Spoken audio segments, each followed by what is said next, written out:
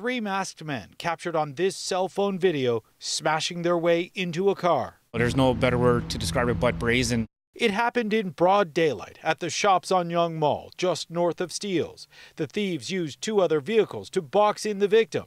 They were able to smash through his driver's side window, open his door, and pull him out of the vehicle.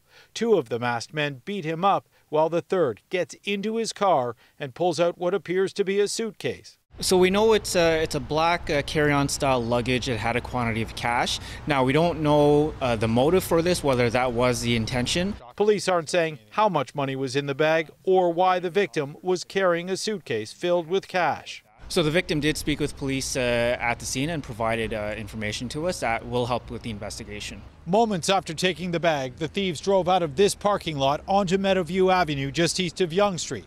They were driving a white Lexus SUV and a white four-door Mercedes Benz. A Lexus SUV was stolen from Toronto actually earlier that day uh, prior to this incident happening and the Mercedes license plate is not registered to that Mercedes. So clearly again the suspects are doing what they can to avoid uh, being caught. Because they were wearing masks, police don't have much of a description of the suspects to go on either.